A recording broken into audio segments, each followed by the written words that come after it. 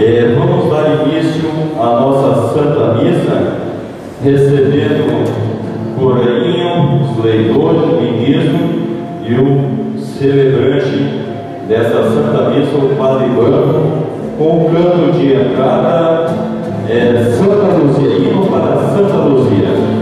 Todos de pé.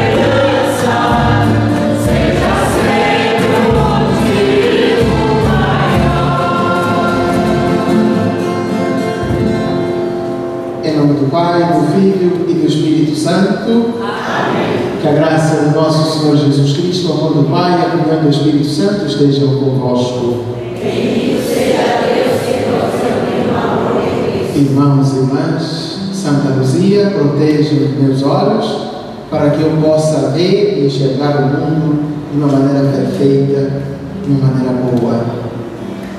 Para que eu possa enxergar no outro o bem e não o mal.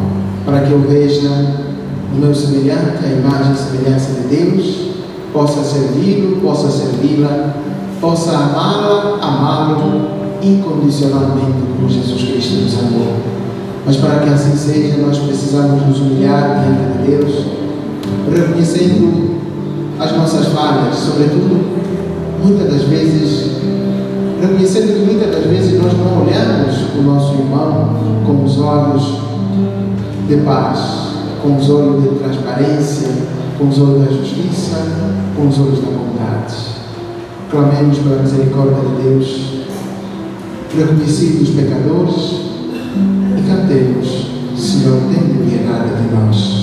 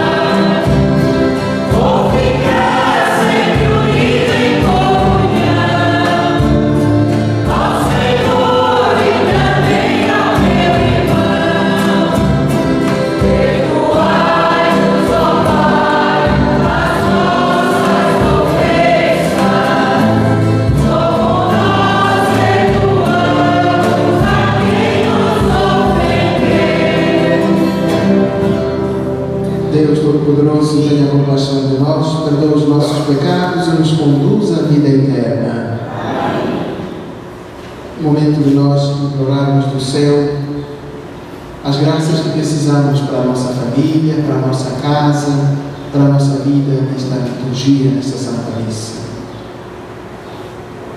Gostaria que cada um de vocês, cada um de nós, colocasse no altar de Deus a sua intenção. Por quem você quer rezar hoje? Que graça você quer alcançar nesta noite? Pessoalmente, eu quero, estou pedindo esta noite a graça de enxergar, que o Senhor torne os meus olhos puros, que o Senhor me dê a graça de enxergar em cada uma das pessoas com as quais eu me cruzo todos os dias somente o bem, somente o positivo, somente o que faz crescer. Que graça você quer alcançar esta noite por intercessão de Santa Lucia? Se você tiver trazido a sua intenção por escrito, pode trazê-la diante de Deus aqui no altar. Se não, lá no lugar que você estiver, peça a Deus. Oremos. Ó oh Deus, que a intercessão da gloriosa Virgem Santa Luzia reanime o nosso fervor para que possamos hoje celebrar o seu martírio e contemplar um dia a sua glória. Por nosso Senhor Jesus Cristo, vosso Filho, que é Deus convosco, na unidade do Espírito Santo. Amém.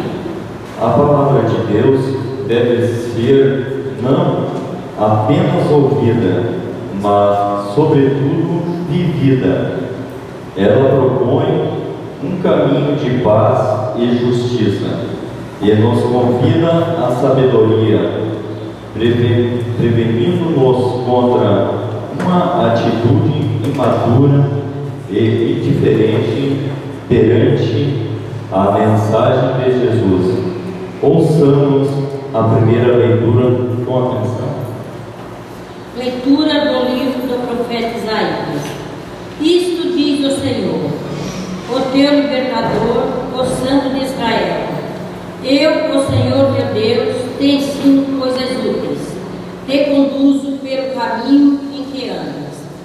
Ah, se tivesses observado os meus mandamentos, tua paz teria sido como um rio, e tua justiça como as ondas do mar.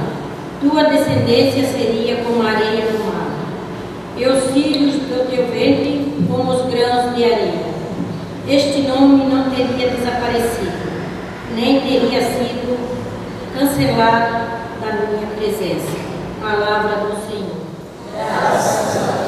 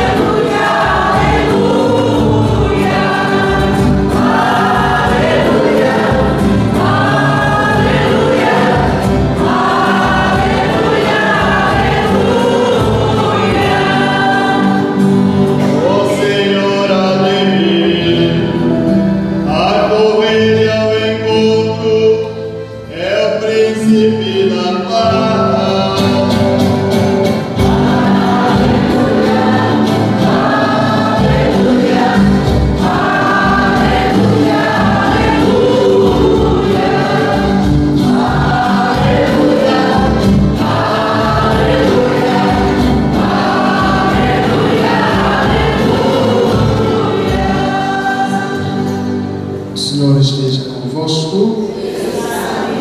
Proclamação do Evangelho de nosso Senhor Jesus Cristo, segundo São Mateus. Naquele tempo, disse Jesus às multidões: Com quem vou comparar esta geração? São como crianças sentadas nas praças que gritam para as colegas, dizendo: Tocamos flauta e vós não dançastes. Entoamos lamentações e vós não batestes no peito. Veio João que não come nem bebe e dizem: Ele está com um demónio. Veio o filho do homem que come e bebe e dizem: comilão e beberão, amigo de cobradores de impostos e de pecadores. Mas a sabedoria foi conhecida com base em suas obras. Palavra da salvação.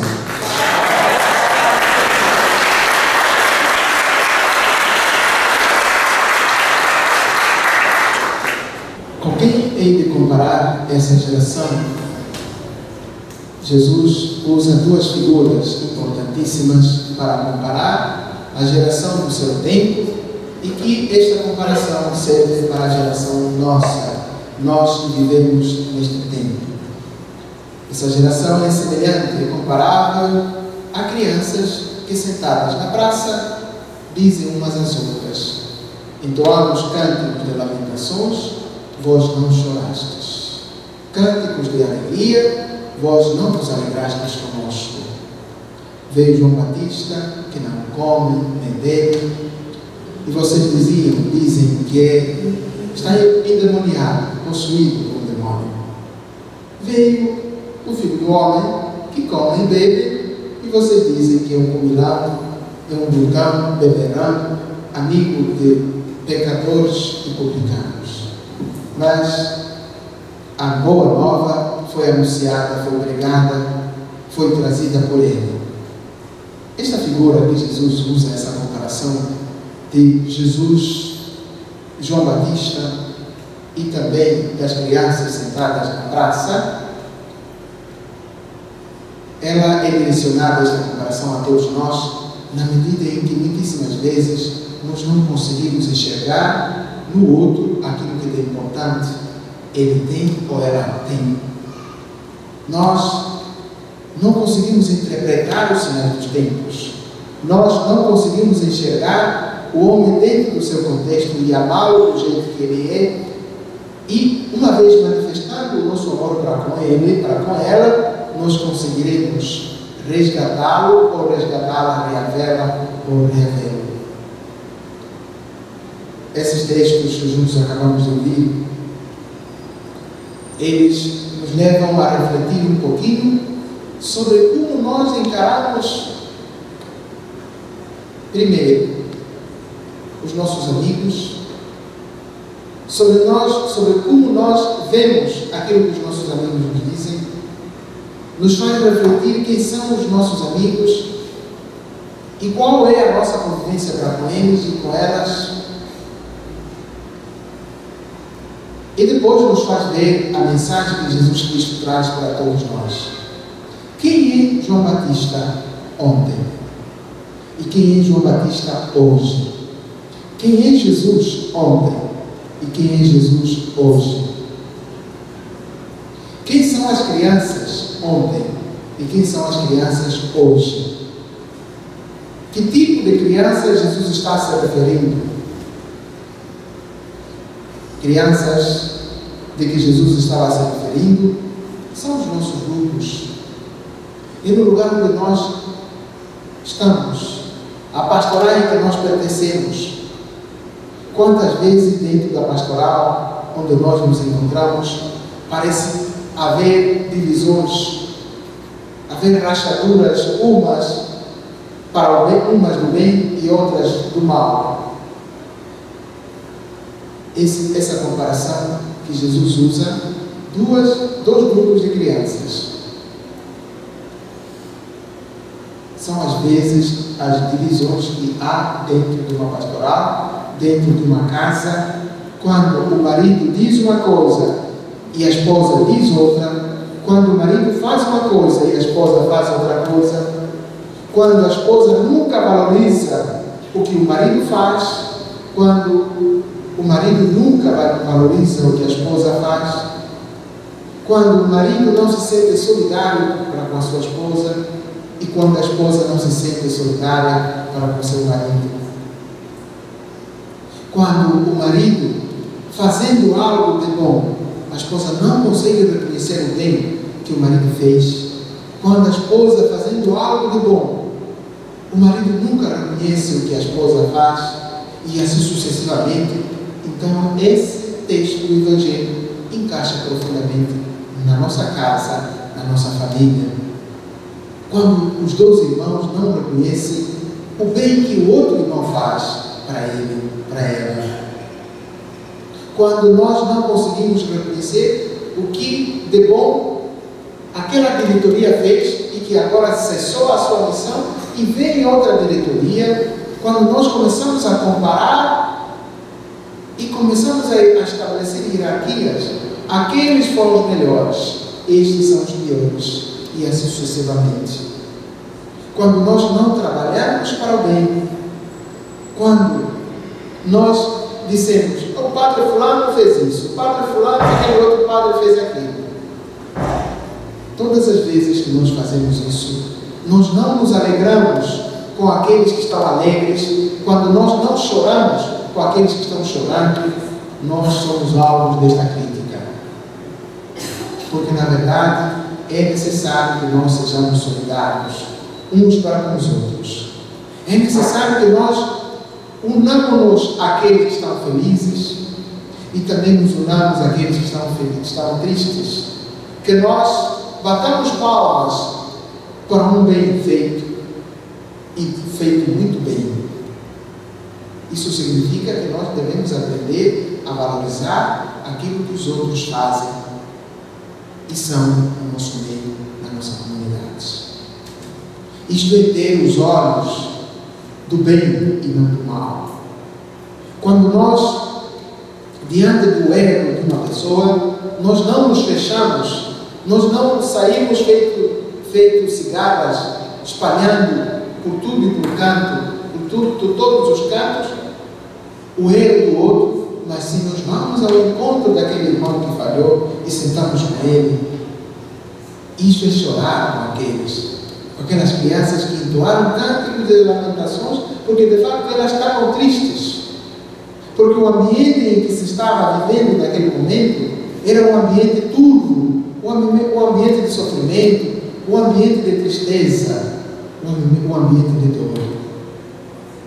Muitas das vezes nós nos alegramos com o sofrimento dos outros. Muitas das vezes nós batemos palmas quando vemos o outro caído, o outro em maus lençóis.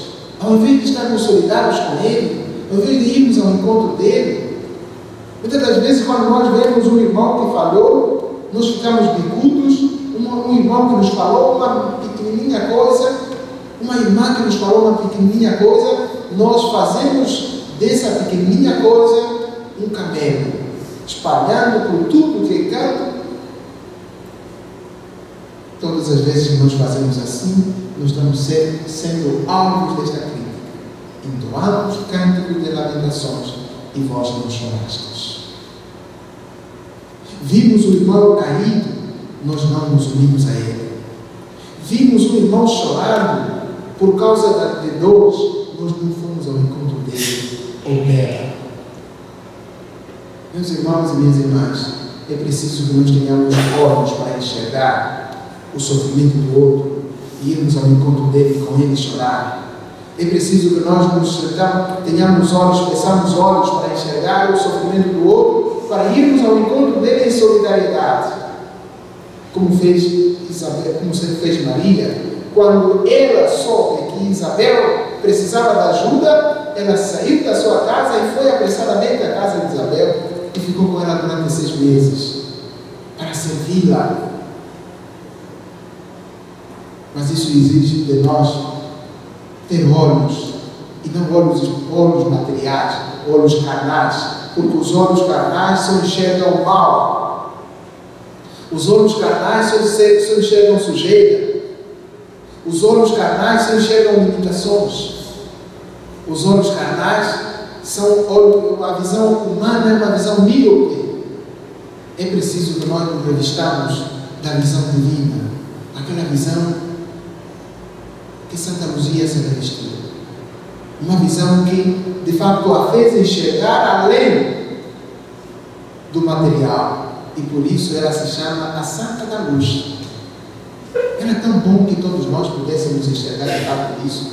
No começo da missa, a música com que nós começamos a liturgia era, é o hino de Santa Luzia. E este hino invoca a luz. Esse hino invoca abrir Deus os nossos olhos espirituais para que nós atraiamos as graças e bênçãos provindas da claridade da luz. A tua luz, Senhor, a tua palavra é luz para os nossos passos, para os meus caminhos.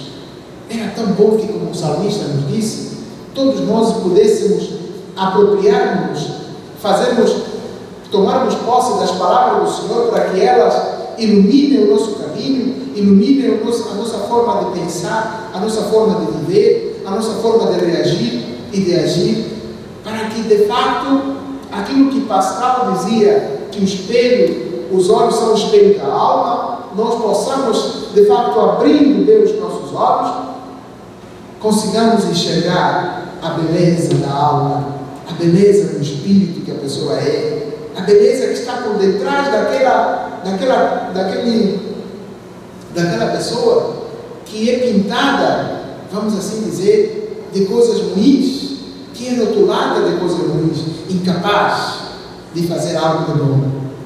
E nós sabemos, por, por, por, por excelência, que de fato Deus não fez nada de ruim.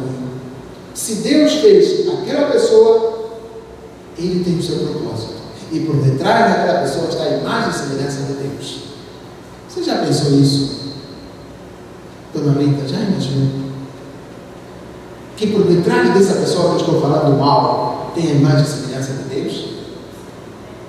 Você já imaginou que quando você fala mal de uma pessoa, se eu falar mal do Lula, eu não estou falando do Lula que está ali, mas estou falando mal da imagem e semelhança de Deus do que o Rui é. Você já imaginou que quando eu falo mal do lei, eu estou falando mal do homem espiritual que o lei é? Você já imaginou que quando eu falo mal da Carol, eu estou falando mal de uma pessoa preciosa diante de Deus? Então, se nós tivéssemos enxergado isso, que por detrás da Ana, a esposa do Zé, eu não enxergo somente a Ana, pessoa, máscara, como dizia o Écio, mas eu enxergo a imagem e semelhança de Deus, eu enxergo um tesouro precioso diante de Deus. A nossa vida é preciosa diante de Deus. Nós custamos caros a Deus. Nós fomos comprados com um preço excelente, um preço incomensurável. Todos nós fomos salvos pelo sangue de Jesus. Então paremos, olhemos bem, abramos bem os nossos olhos e passemos por cima das limitações, por cima dos erros, por cima das falhas. Que Santa Luzia nos abra os olhos, de fato, para que nós consigamos somente enxergar aquilo que nos edifica e não aquilo que nos separa. Que as diferenças sejam, que as, que as diferenças não sejam barreiras, elas sejam riquezas, que elas nos aproximem cada vez mais, que nós aprendamos a, a lavar a nossa roupa suja em casa. É isso que se diz. Jesus diz assim, diz aí, entoamos cântico de lamentações e vós não chorastes conosco, não vós não viestes para nos ajudar a lavar a nossa roupa em casa para que ela fique limpa. Nós passamos fome e vós não viestes para nos ajudar com os vossos bens. Nós ficamos felizes, fizemos a nossa, a nossa convivência e vós não, não vos unistes a nós. É tão triste quando nós nos deparamos, quando nós enfrentamos uma igreja, uma comunidade onde cada pastoral vive por si, cada pastoral não se alegra com com o sucesso da outra pastoral, quando existem críticas entre as pastorais, quando existe é, é, espírito de competições na mesma pastoral?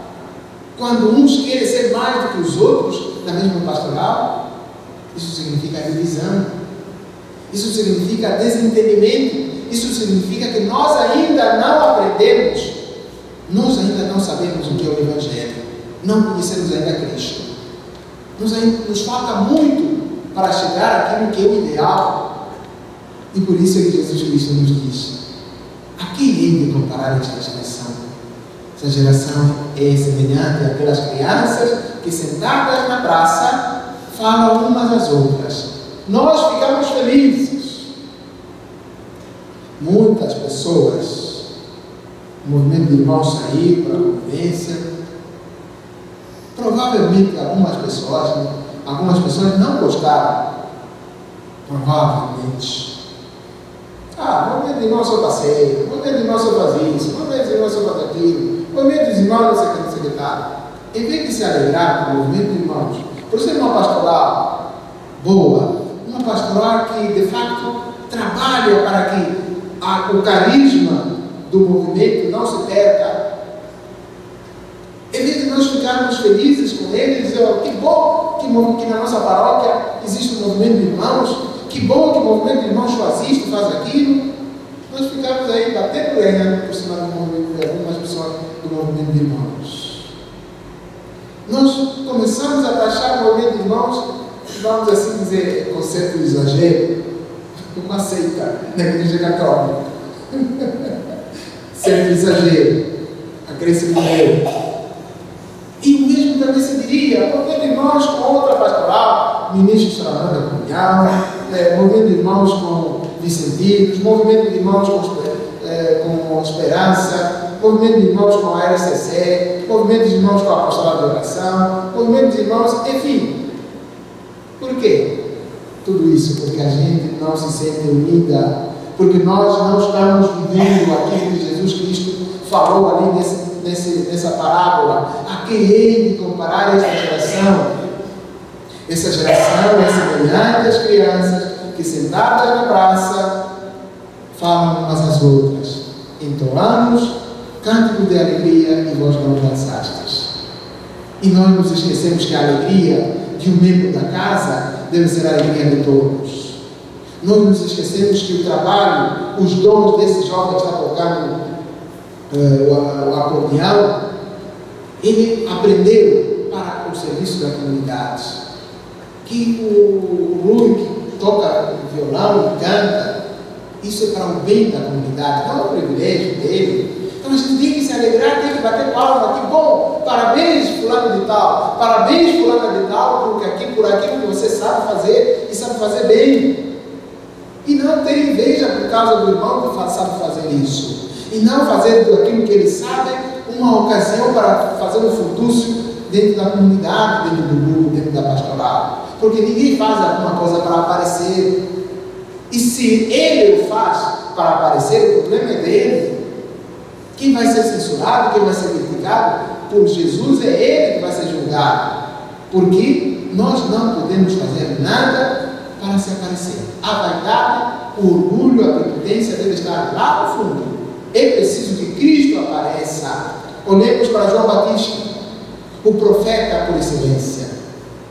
Que daqui a pouco nós vamos entrar na semana de João Batista. Aquele que diz: é preciso que eu diminua que ele cresce. Esse é o espírito da comunidade. Esse espírito de uma verdadeira pessoa que sabe reconhecer os dons e sabe colocar-se no seu tempo de lugar e sabe trabalhar para o processo, para o progresso, para o bem-estar de todos, para a harmonia, para a paz. Então a gente será iluminada. A quem hei de comparar? Veio João Batista que come, veio João Batista que não bebe nem come e você diz que é um, é um endemoniado. Quem são? Quem é João Batista? Esse João Batista acusado de endemoniado. São aquelas pessoas firmes, aquelas pessoas implacáveis, aquelas pessoas que querem sempre agir certo, aquelas pessoas que dizem, eu não bebo. Existem pessoas, há pessoas da nossa pastoral que não bebem, não tomam nem sequer uma cerveja. E quando a gente vai à festa, se eu me sentar ao lado de quem não bebe e eu bebo, é grande problema. Verdade ou não? Não é? Oh, Francesca. ao lado de quem toma uma cerveja e você não bebe. Ou seja, você bebe e ele não bebe. Como é que você fica? Bebeu uma cerveja, bebeu duas, bebeu três, bebeu quatro. E ele nem sequer uma. E nem refém toma. Uma piadinha sai. Sai ou não sai? Quer se dar de santo. Quer se não sei o quê. Quer fazer isso. Quer fazer aquilo. Dona Tulica, sai ou não sai? Claro que sai. Agora aqui não quer dizer que sai, mas sai. E muitas das vezes a gente escuta. Ah, eu prefiro aquele padre lá, aquele padre não bebe, aquele padre não fuma. E quando aparece outro padre que fuma, meu Deus. Aparece um padre que tomou uma cerveja, é, esse padre é um, um pipa. sai ou não sai? Claro que sai. E quantas vezes a gente escutou isso aqui na nossa comunidade? Falaram do padre Valdir, padre Valdir é isso, padre Valdir é aquilo, padre não sei o quê. Vem o Padre Antônio, chute no balde. Ah, o Padre Antônio é aquilo, o Padre Antônio é isso, o Padre Antônio, o Padre Padre, Padre Padre. Agora vem o Padre Bato, é a mesmíssima coisa. Aqui a gente comparar essa geração. Meu Deus, uma geração que não se contenta com nada. Uma geração que não se sente feliz com aquilo que tem. Meus irmãos e minhas irmãs, aprendamos de uma vez por todas. O que é nosso, é mesmo nosso, ainda que seja um farrapo, vale mais do que o ouro emprestado. E o padre que estiver com vocês, enquanto o bispo não tira ele da, da vossa paróquia, esse é o vosso padre. Ame-o, ajudem-o, sejam próximos dele, deixem de fazer críticas. E se fazem crítica, essas críticas sejam críticas construtivas. Críticas que ajudem a comunidade a avançar, não aquelas críticas que ajudam a comunidade a voltar para trás. Isso aqui a gente nunca vai incluir. Não estaremos atraindo desgraças sobre nós, maldições sobre nós, porque nós estaremos sempre no mesmo ponto. Isto é se Deus segurar para a gente não regredir, porque senão a gente nem vai parar no mesmo ponto. Nós vamos voltando para trás, vamos andando enquanto os outros dão cinco passos para trás, para frente, nós, damos, nós, de, nós daremos dez passos para trás. E aí nós não funcionamos. Então, assim como Jesus fez a crítica àquela geração, também ele está fazendo a mesma crítica hoje a todos vocês, todos nós que estamos aqui. A quem hei de comparar essa geração? Essa geração é incomparável àquelas pessoas lá. Veio João Batista, que não comia, não bebia, diziam que estava endemoniado. Agora vem o filho do homem que bebe e come, vocês dizem que é ocultado.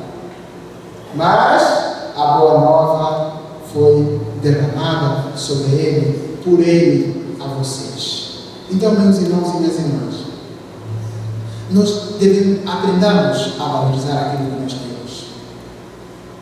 Peçamos ao Senhor que Ele nos abra os olhos para enxergar o positivo que está em cada um de nós.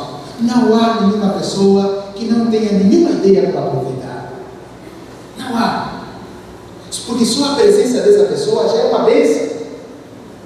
A presença de uma pessoa que pensa diferente de mim, que enxerga as coisas diferente de mim, já é uma bênção. Porque ela me ajuda a olhar para frente. Ela me, me ajuda a olhar a vida de uma maneira diferente da qual, do, do modo como eu a vejo, como é, eu a enxergo.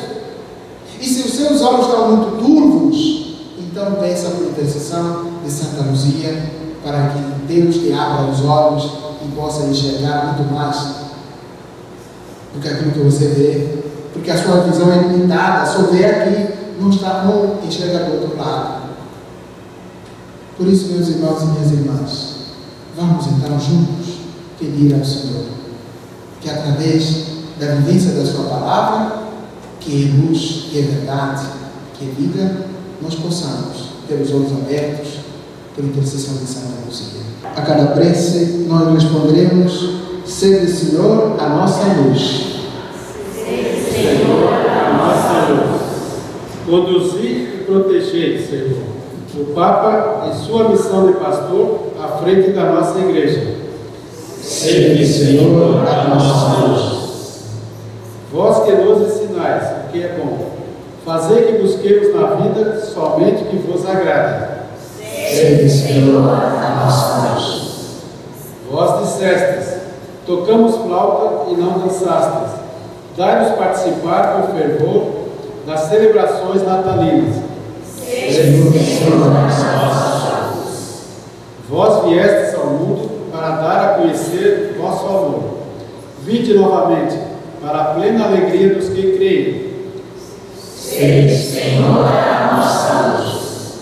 Neste dia de Santa Luzia, iluminai os olhos e o coração dos que ainda não vos reconhecem como Deus e Senhor. Sede, Senhor. Sede, Senhor, a nossa luz. Ajudai-nos, através da vossa palavra, a enxergar o outro e ver nele a vossa imagem salvadora, a vossa imagem fortalecedora, a vossa imagem edificadora. Por isso vos pedimos, ó Pai, por Cristo Senhor nosso. Amém.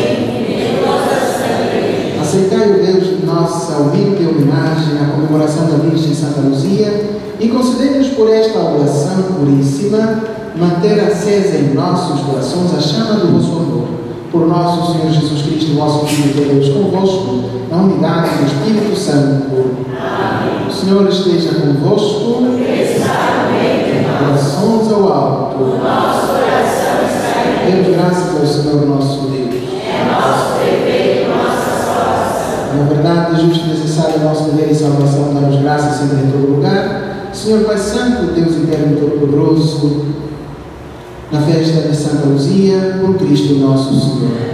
Ele é a vossa palavra viva pela qual tu me criaste, ele é o nosso Salvador, Redentor, o verdadeiro homem consumido do Espírito Santo, nascido da Virgem Maria. Ele para cumprir a vossa vontade mundo do povo santo vosso louvor, estende os braços na hora da sua paixão, a fim de vencer a morte e manifestará a ressurreição. Por ele os anjos celebram a vossa grandeza e os santos proclamam a vossa glória. Concedemos também a nossa de seus louvores, cantando ao nosso voz.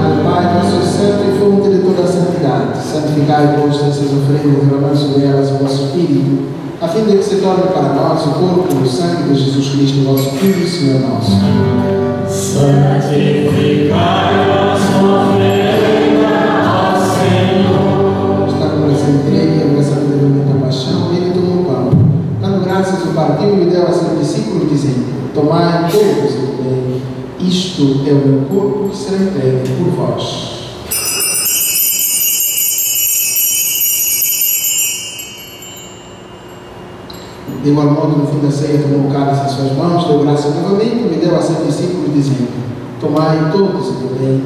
Este é o cálice do meu sangue, o sangue da nova e eterna aliança, que será derramado por vós e por todos para a remissão dos pecados.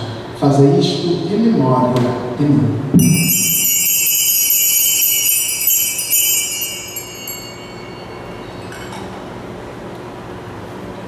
Eis o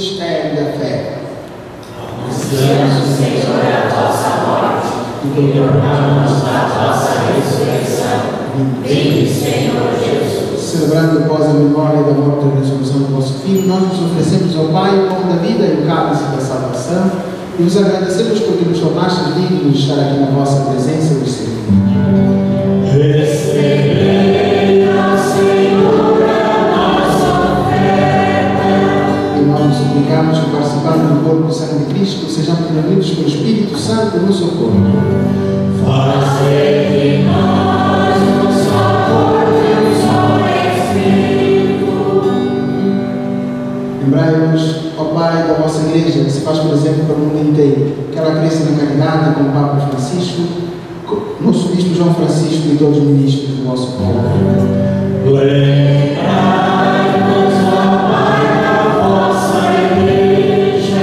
Lembrai-vos dos vossos filhos e filhas por quem celebramos esta Eucaristia, Pedra Claudinho da Silva, 37 anos, Paulo Alencar Mendes Guintão, Adelina Mendes, Pedro Paulo, Algenor José da Silveira, Almeida Israel da Silveira, Amir Israel da Silveira, Valnei Ferreira, Fernandes da Rosa, Valdemar Manuel da Rosa, Manuel Fernandes, Antônio José, José Firmino Alves, Zuma Santana Firmino, Graciana Lisa Alves Fernando, Bernardo Fidelis, Santana Maria das Dores, Amélia de Jesus, a quem chamastes para vós, configurados com Cristo na morte, com Cristo reparte igualmente da sua ressurreição.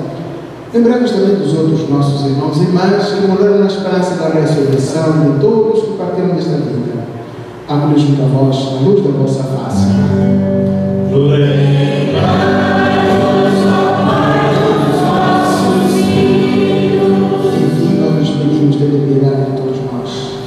e dá-nos participar da vida eterna com a Virgem Maria, Mãe de Deus, os santos apóstolos, todos os crismandos da nossa paróquia que vão receber o seu crisma no, no domingo, os nossos doentes, aqueles que estamos visitando esses dias, preparando-nos para o Natal, e todos que neste mundo nos serviram, a fim de vos louvarmos e glorificarmos por Jesus Cristo, vosso Filho.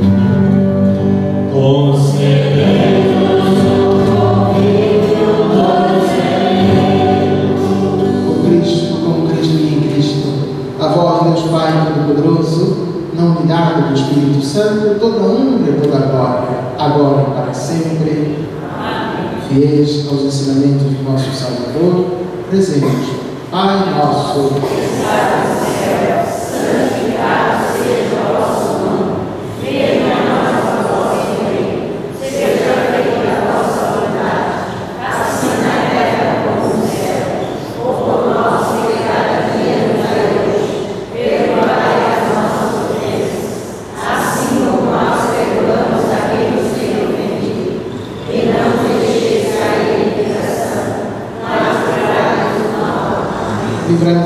de todos os males, ó Pai, damos hoje a vossa paz. Ajudados pela vossa misericórdia, sejamos sempre livres do pecado e de toda perturbação, enquanto vem da esperança, aguardamos a vinda de Cristo, nosso Salvador. Senhor Jesus Cristo, que disseste aos vossos apóstolos, deixe-nos a paz, damos a minha paz. Não olheis os nossos pecados, mas a fé que anima a vossa igreja. Dá-lhe, Senhor, segundo o vosso desejo, a paz e a unidade, vós que sois Deus com o Pai e o Espírito Santo. Paz do Senhor esteja sempre convosco. Cordeiro de Deus.